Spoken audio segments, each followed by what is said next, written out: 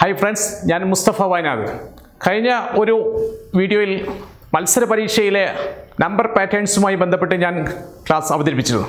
ഒരുപാട് വിദ്യാർത്ഥികളുടെയും രക്ഷിതാക്കളുടെയും അഭിപ്രായം മാനിച്ച് അടുത്ത വീഡിയോ ഞാൻ അവതരിപ്പിക്കുകയാണ്. ഈ വീഡിയോ നിങ്ങൾ എല്ലാവരും കാണുകയും നിങ്ങളുടെ വിദ്യാർത്ഥികൾക്ക് ഇത് ഷെയർ ചെയ്യുകയും അവരെ പഠിപ്പിക്കുകയും ചെയ്യുക മാത്രമല്ല ഈ വീഡിയോ ഈ ചാനൽ എല്ലാവരും സബ്സ്ക്രൈബ് ചെയ്യുക. അത് മാത്രമല്ല ബെൽ ഐക്കൺ അമർത്തുകയും ചെയ്യുക. അതോടൊപ്പം തന്നെ നിങ്ങളെ N M M C N T S C വിദ്യാർത്ഥികൾക്ക് വേണ്ടി പഠിക്കുന്ന വിദ്യാർത്ഥികൾക്ക് എല്ലാവർക്കും അറിയിക്കുകയും ചെയ്യുക അത് പഠിപ്പിക്കുകയും ചെയ്യുക എന്നുകൂടി അറിയിക്കുന്നു. ഇന്നത്തെ വീഡിയോ ലെറ്റർ സീരീസുമായി ബന്ധപ്പെട്ടതാണ്. നമ്മുടെ എ മുതൽ സെഡ് വരെയുള്ള ലെറ്ററിന്റെ അടിസ്ഥാനത്തിൽ ലെറ്റർ പാറ്റേൺസ് വരുന്നു. ആ പാറ്റേണുകളിൽ നിന്ന് നെക്സ്റ്റ് ഏത് എന്ന് കണ്ടെത്തുന്നു. നമ്പർ പാറ്റേൺസുകളും ലെറ്റർ പാറ്റേൺസുകളെല്ലാം നമ്മൾ കൂടുതൽ പരിശീലിക്കുമ്പോൾ നമ്മുടെ ബ്രെയിൻ എബിലിറ്റി കൂടുകയാണ്. നമുക്ക് നല്ലൊരു നിരീക്ഷണ പാഠവും ഉണ്ടാകുന്നു. ഏകാഗ്രതയും ഗ്രഹണശേഷിയും വിശകലന കഴിവും എല്ലാം ഒത്തുചേരുകയാണ് ചെയ്യുന്നത്. നല്ല ഒരു പരിശീലനം കൊണ്ട് മാത്രമാണ് ഇതെല്ലാം നേടിയെടുക്കുന്നത്. അതുകൊണ്ട് അതുകൊണ്ട് എല്ലാ വിദ്യാർത്ഥികളും എ മുതൽ സെഡ് വരെ ഒന്ന് പറഞ്ഞു നോക്കൂ. എല്ലാവർക്കും വളരെ ഈസിയാണ്. A B C D E F G H ഇങ്ങനെ പറയാൻ വളരെ വേഗത്തിൽ സാധിക്കുന്നു. എ മുതൽ സെഡ് വരെ എല്ലാവർക്കും വളരെ വേഗത്തിൽ നമ്മൾ പരിശീലിച്ച ഓരോ പഠന അതിന്റെ ഫലമായി മൈൻഡിൽ സൂക്ഷിക്കുന്ന മെമ്മറിയിൽ സൂക്ഷിച്ച് വളരെ സൂക്ഷിച്ച ഒരു കാര്യമാണ്. എന്നാൽ തിരിച്ച് നമുക്ക് പറയാൻ സാധിക്കുമോ? Z Y X W V U T S R Q P O N M L K J I H G F E D C B A ഇങ്ങനെ വളരെ ഫാസ്റ്റായിട്ട് നമുക്ക് പറയാൻ സാധിക്കുക. ഇതെല്ലാം വളരെ പരിശീലനം കൊണ്ട് മാത്രം സാധിക്കുന്നതാണ്. ഇതിനെ ഇങ്ങനെയുള്ള പരിശീലനം നേടിയ കുട്ടികൾക്ക് നമ്മുടെ ലെറ്റർ സീരീസ് വളരെ വേഗത്തിൽ ഉത്തരം കണ്ടെത്താൻ സാധിക്കും.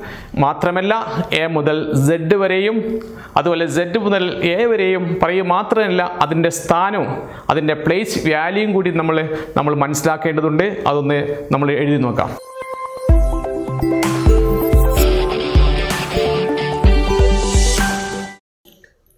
ഇവിടെ സൂചിപ്പിച്ചിരിക്കുന്ന ലെറ്റർ സീരീസ് എന്ന അതാണ് ലെറ്റർ പാറ്റേൺ അല്ലെങ്കിൽ ലെറ്ററുകളുടെ ആ ശ്രേണികളെല്ലാം നമ്മൾ കണ്ടെത്തുമ്പോൾ അങ്ങനെയുള്ള ചോദ്യങ്ങൾ വരുമ്പോൾ വരാൻ വന്നാൽ നമ്മൾ വളരെ മനസ്സിലാക്കേണ്ട ഒരു മെന്റൽ എബിലിറ്റിയിലെ മാറ്റിൽ നമ്മൾ പഠിക്കേണ്ട ഒരു രീതിയാണ്. എ മുതൽ എം വരെ എഴുതുകയും അതിന്റെ നേരെ മുകളിൽ നമ്പർ നമ്മൾ സൂചിപ്പിച്ചിരിക്കുന്നുണ്ട് അതിന്റെ സ്ഥാനം. അതും തിരിച്ച് നേരെ എമ്മിന്റെ ചുവട്ടിലായി എൻ എല്ലിന്റെ ചുവട്ടിൽ ഒ കെയുടെ ചുവട്ടിൽ പി ഇങ്ങനെ ഇത് തിരിച്ചു എഴുതുകയും അവസാനം സെഡിൽ അവസാനം സെഡും എയുടെ ചുവട്ടിൽ വരിക എന്ന രീതിയിൽ ആയിരിക്കണം. ഈ രൂപത്തിലാണ് എഴുതേണ്ടത്. ഇങ്ങനെയാണ് പഠിച്ചാൽ നമുക്ക് നിരവധി ചോദ്യങ്ങൾക്കുള്ള ഉത്തരങ്ങൾ ഇതിൽ നിന്ന് ഫാസ്റ്റായിട്ട് പെട്ടെന്ന് കണ്ടെത്താൻ സാധിക്കും എന്നുള്ളത് കാര്യം മറക്കരുത്. ഓക്കെ ഇവിടെ ഒരു ചോദ്യം നമുക്ക് ഇവിടെ നൽകിയിരിക്കുന്നു. A C A C F G I dash K A ഒന്നാമത്തെ സ്ഥാനത്താണ് സി മൂന്നാമത്തെ സ്ഥാനത്താണ് ഇ അഞ്ചാം സ്ഥാനത്താണ് ജി ഏഴാമത്തെ സ്ഥാനത്താണ് ഐ ഒൻപതാം സ്ഥാനത്താണ് ഇങ്ങനെ ഒരു പാറ്റേൺ പോകുന്നു. ഇവിടെ എല്ലാം വ്യത്യാസങ്ങൾ മനസ്സിലാക്കേണ്ടത് plus two plus two plus two ഈ രൂപത്തിലുള്ള വ്യത്യാസത്തിലാണ് ഈ പാറ്റേൺ വന്നിരിക്കുന്നത് ശ്രേണി വന്നിരിക്കുന്നത്. അപ്പോൾ നെക്സ്റ്റ് ഏതായിരിക്കും? വളരെ ഈസിയാണ് നമുക്ക് അക്ഷരങ്ങളുടെ പരീക്ഷ വിദ്യാർത്ഥികൾ ഇങ്ങനെയുള്ള മത്സര പരീക്ഷയിൽ N M O C N T S C മത്സര പരീക്ഷയിൽ പോയാൽ ആദ്യം ചെയ്യേണ്ടത് ഇങ്ങനെയൊരു ചാർട്ട് ഉണ്ടാക്കലാണ്. എ മുതൽ സെഡ് വരെ ഒന്ന് എഴുതുകയും അതിന്റെ സ്ഥാനങ്ങൾ കൃത്യമായി തെറ്റാതെ എഴുതുകയും ചെയ്യുക ജിയുടെ താഴെ ടി തന്നെ വരണം. ആ രൂപത്തിൽ എഴുതുമ്പോൾ നമുക്ക് ഉത്തരങ്ങളെല്ലാം പെട്ടെന്ന് കണ്ടെത്താൻ സാധിക്കും. ഇപ്പോൾ ഇവിടെ നൽകിയിരിക്കുന്ന ചോദ്യത്തിലെ പ്ലസ് ടു വ്യത്യാസത്തിലാണ് വന്നിരിക്കുന്നത്. ഐ കഴിഞ്ഞാൽ അപ്പോൾ പ്ലസ് വൺ ആണിത് പത്ത് പത്ത് പതിനൊന്ന് പതിനൊന്നാം സ്ഥാനത്ത് ഉള്ളത് കെ ആണ്. വളരെ ഈസിയാണ് ഇത്തരം ചോദ്യങ്ങളിലേക്ക് നമുക്ക് എളുപ്പത്തിൽ കണ്ടെത്താൻ സാധിക്കും. മറ്റൊരു ചോദ്യം ഇവിടെ നൽകിയിരിക്കുന്നു. A C F J O dash dash വരുന്ന സ്ഥലത്ത് ഏത് ലെറ്റർ വരണം? അപ്പോൾ നമുക്ക് ഇവിടെ നിന്ന് തന്നെ മനസ്സിലാക്കാം. എ കഴിഞ്ഞാൽ സി വന്നു. എ ബി ഇല്ല സി വന്നു. ഇതിന് നമുക്ക് പ്ലസ് ടു എന്ന് പറയാം. രണ്ട് മാറ്റമാണ്. രണ്ട് സ്ഥാനം മാറി. സി കഴിഞ്ഞാൽ എഫ് ഐ സി മൂന്നാണ്. എഫ് ആറാം സ്ഥാനത്തിലാണ്. അപ്പോൾ പ്ലസ് ത്രീ ആണ്. നോക്കാം ഇവിടെ സി കഴിഞ്ഞാൽ one two three plus three മൂന്ന് മാറി. ഇനി എഫ് കഴിഞ്ഞാൽ എഫ് കഴിഞ്ഞാൽ ജെ വരുന്നത് plus one plus two plus three plus four നാല് മാറ്റം സംഭവിച്ചു നാല് സ്ഥാനം മാറിയിട്ടാണ്. ഇനി ജെ കഴിഞ്ഞാൽ ജെ പത്താണ്. ഓ പതിനഞ്ചാം സ്ഥാനത്താണ്. പ്ലസ് അഞ്ചാണ്. എന്താ ഈ രൂപത്തിൽ നിന്ന് മനസ്സിലാക്കാം. Plus two plus three plus four plus five ഇനി എന്ത് മാറണം? ഇനി ആറ് സ്ഥാനം മാറിയിട്ടുള്ള ലെറ്ററാണ് ആറ് സ്ഥാനം മാറുമ്പോൾ ഇവിടെ കൗണ്ട് ചെയ്യേണ്ടത്. ഒന്ന് രണ്ട് മൂന്ന് നാല് അഞ്ച് ആറ്. ആറാം സ്ഥാനത്ത് യു എന്ന് എഴുതുമ്പോഴാണ് കുട്ടികൾക്കെല്ലാം മിക്കവാറും കുട്ടികൾക്ക് തെറ്റിപ്പോകാൻ സാധ്യതയുണ്ട്. ഈ സ്ഥാനങ്ങൾ ഇവിടെ അഞ്ച് പതിനഞ്ചാം സ്ഥാനം കഴിഞ്ഞാൽ ആറ് കൂടുതൽ ഒന്ന് രണ്ട് മൂന്ന് നാല് അഞ്ച് ആറ് ഇതാണ് സ്ഥാനം. ഇരുപത്തി ഒന്നാമത്തെ സ്ഥാനത്തുള്ള യു എന്ന ലെറ്ററാണ് അവിടെ എഴുതേണ്ടത്. ഇങ്ങനെ എഴുതുമ്പോഴാണ് കുട്ടികൾക്ക് മാർക്ക് കൃത്യമായി കിട്ടുക. തെറ്റിപ്പോകാതെ ചെയ്യുക. ഇതുപോലുള്ള ക്വസ്റ്റ്യൻസ് നമുക്ക് ധാരാളം പരിശീലിക്കാം. മൂന്നാമത്തെ മൂന്നാമതൊരു ക്വസ്റ്റ്യനിലേക്ക് നമുക്ക് എടുക്കാം. ഇത് തികച്ചും വ്യത്യസ്തമാണ്. ഇതിന്റെ ഡിഫറൻസ് നോക്കിയാൽ തന്നെ നമുക്ക് മനസ്സിലാവാൻ സാധിക്കും. അതുകൊണ്ട് എ ഒന്നാം സ്ഥാനത്താണ് ഡി നാലാം സ്ഥാനത്താണ് ഐ എന്നത് ഒൻപതാം സ്ഥാനത്തുള്ള ലെറ്ററാണ് പി എന്നത് പതിനാറാം സ്ഥാനത്തുള്ള ലെറ്ററാണ്. അപ്പോൾ ഒന്ന് വൺ ഫോർ നയൻ സിക്സ്റ്റീൻ എന്ന് കാണുമ്പോൾ നമുക്ക് മനസ്സിലാക്കുക. ഇത് നമ്മൾ നേരത്തെ പഠിച്ചൊരു നമ്പർ പാറ്റേൺസിൽ നമ്മൾ പഠിച്ചിരിക്കും. വൺ ഫോർ നയൻ കാണുമ്പോൾ ആരെ ഓർക്കണം? നമ്മൾ ആരെ ഓർക്കേണ്ടത്? അത് സ്ക്വയർ എന്ന സംഖ്യയാണ് നമ്മൾ ഓർക്കേണ്ടത്. വളരെ തികച്ചും വളരെ വ്യത്യസ്തമായി തന്നെ ഈ ക്വസ്റ്റ്യൻസ് വരുന്നു വളരെ ശ്രദ്ധിക്കുക. അപ്പോൾ നെക്സ്റ്റ് വണ്ണിന്റെ സ്ക്വയർ ടുവിന്റെ സ്ക്വയർ ത്രീയുടെ സ്ക്വയർ ഫോറിന്റെ സ്ക്വയർ ഫൈവിന്റെ സ്ക്വയർ ഇരുപത്തിയഞ്ച് ഇരുപത്തിയഞ്ചാമത്തെ സ്ഥാനത്ത് വൈ വന്നിരിക്കുന്നു. വളരെ ഈസിയാണ്. നമ്മൾ കൂടുതൽ പരിശീലനത്തിലൂടെയാണ് ഇതെല്ലാം നേടിയെടുക്കേണ്ടത്. ഇങ്ങനെല്ലാം ചോദ്യങ്ങളെല്ലാം ആൻസർ ചെയ്യുമ്പോൾ വളരെ ഹാപ്പി മൈൻഡ് നമുക്ക് കിട്ടുന്നു. ഇങ്ങനെ മത്സര പരീക്ഷയ്ക്ക് പോയാൽ നവംബർ പതിനെട്ടിന് നടക്കുന്ന N M C N T S C പരീക്ഷകൾക്കെല്ലാം നിങ്ങൾക്ക് ഇതേമാതിരിക്കുള്ള ചോദ്യങ്ങൾ വരട്ടെ എന്ന് ആശംസിക്കാം. ഇപ്പോൾ മൂന്ന് ചോദ്യങ്ങൾ നമ്മൾ മനസ്സിലാക്കി. വ്യത്യസ്തമായിട്ടാണ് ഇവിടെ വരുന്നത്.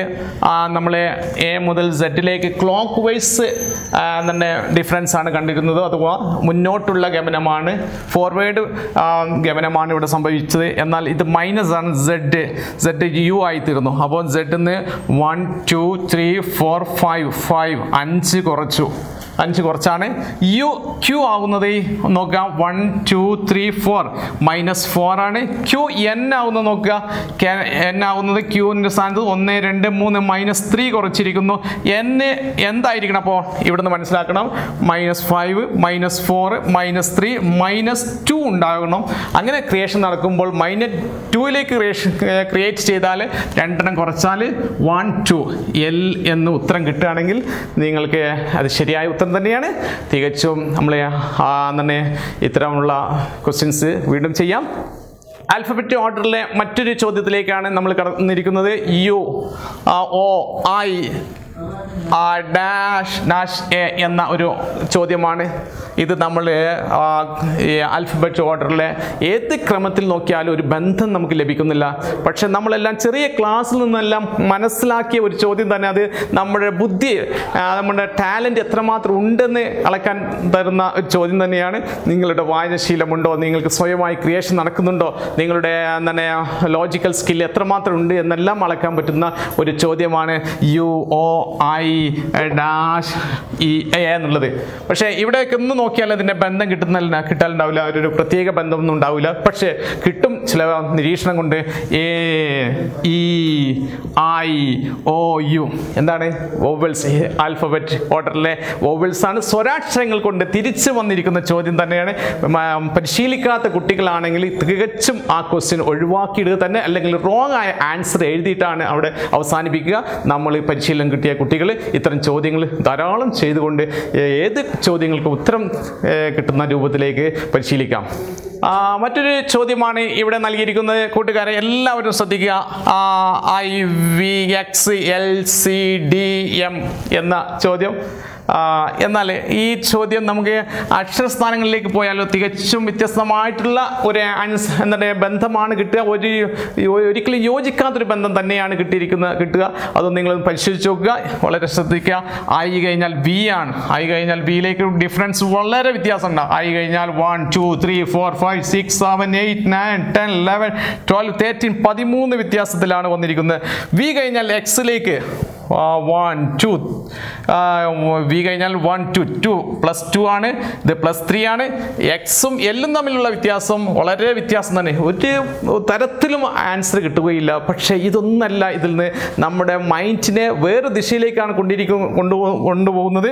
ഈ ഇത്തരം ചോദ്യങ്ങൾ നമ്മളെ കൺഫ്യൂഷനാക്കും കുട്ടികൾക്ക് പ്രയാസം സൃഷ്ടിക്കുന്ന തരത്തിലുള്ള ക്വസ്റ്റ്യനാണ് ഇത് വന്നിരിക്കുന്നത്. വളരെ ശ്രദ്ധിക്കുന്ന I V X L C അവിടെ വരേണ്ടത് ഈ ഡി എന്ന ലെറ്ററാണ് ഡി എന്നത്. ഇത് റോമൻ ഡിജിറ്റുകളാണ്. റോമൻ ഡിജിറ്റ് എന്ന് പറഞ്ഞാൽ റോമക്കാർ ഉപയോഗിച്ചിരുന്ന നമ്പേഴ്സ് അവർ നമ്പേഴ്സാണ് നമ്മൾ ഒന്നാം ക്ലാസ്സിൽ പഠിക്കുന്ന സമയത്ത് ഇങ്ങനെ കൊടുത്തിരുന്നു. രണ്ടാം ക്ലാസ്സിലെത്തിയപ്പോൾ ഇത് കൊടുത്തു. മൂന്നാം ക്ലാസ്സിൽ ഇങ്ങനെ ആവർത്തിച്ച് എഴുതി. നാലാം ക്ലാസ്സിൽ ഇതുപോലെ എഴുതി. അഞ്ച് ആറ് ഏഴ് ഇങ്ങനെയെല്ലാം നമ്മൾ എഴുതിയതെല്ലാം റോമൻ നമ്പേഴ്സ് കൊണ്ടാണ് നമ്മൾ എഴുതുന്നത്. അത് നമ്മൾ പഠിക്കണം. ഇത് റോമൻ നമ്പേഴ്സിന്റെ പാറ്റേൺ അവരുടെ ഡിജിറ്റാണ്. വൺ ഇത് വൺ ആണ്. ഇത് നേരിട്ട് ബൈ ഹാർട്ട് ആക്കേണ്ടതാണ്. ഐ എന്ന് പറഞ്ഞാൽ വൺ ആണ്. ഫൈവ് ഈ വി എന്നത് ഫൈവ് ആണ്.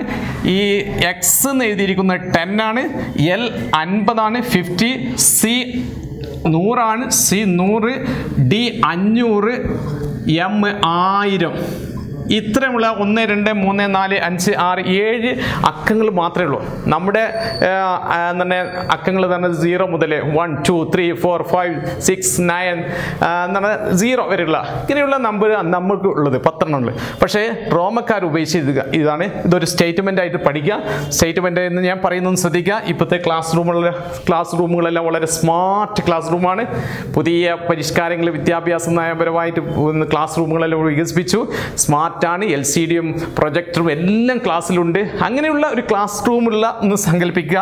ഒന്നാം ക്ലാസ്സിലും അഞ്ചാം ക്ലാസ്സിലും പത്താം ക്ലാസ്സിലും എൽ സി ഡി മോണിറ്റർ ആവശ്യമാണ് എന്ന സ്റ്റേറ്റ്മെന്റ് ബൈഹാർട്ടാക്കുക.